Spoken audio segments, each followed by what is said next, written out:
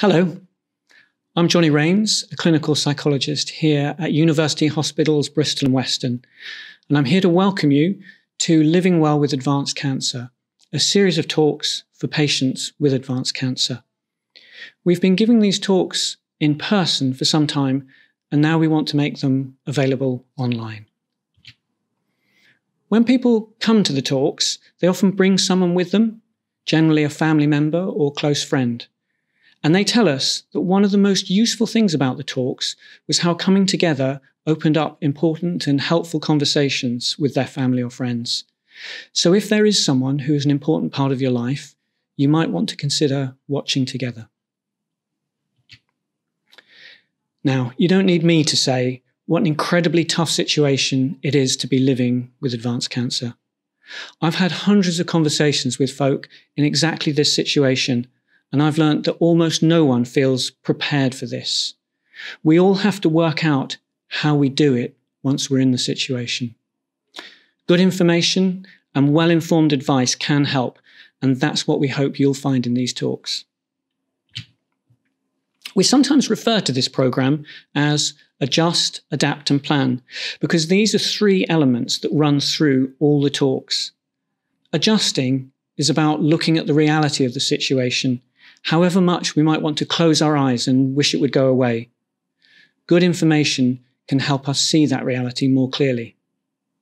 Adapting is about changing what and how you do things to better fit that reality. I appreciate that's easy for me to say and incredibly difficult to do in practice. No one chooses to be in this situation. No one wants their life this way. But as a psychologist, I can say that people who do adapt in this way who adapt what they do to fit the reality better tend to feel less frustrated, less upset, and report higher quality of life.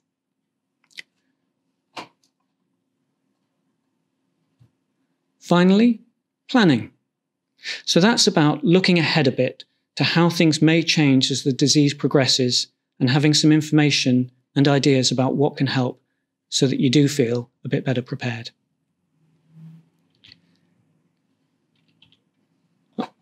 When we put the program together, we asked patients what they wanted included, and we asked cancer nurses what they thought their patients needed to hear. This gave us the list of topics to include, and then we asked professionals who are expert in these topics to prepare these talks. So we have a talk on managing nutrition from dietitian Joe Porter. This is one that's often of huge interest to family members too. If you're making and preparing meals, you want to feel you've got this right we have a talk on managing fatigue from occupational therapist Lucy Dormer. We know that fatigue is the single most common problem that patients find affect their quality of life. I give a talk on developing resilience because dealing with the emotional impact can be every bit as tough as dealing with the physical impact. We have a session specifically on planning ahead from our palliative care team.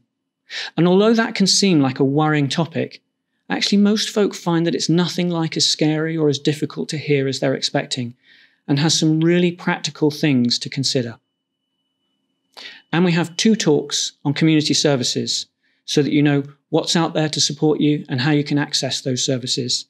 One of them's from Jane Beard, and that covers what's available in Bristol, and the other's from Jen Wakefield from Weston Hospice, and that covers what's available in Weston and North Somerset.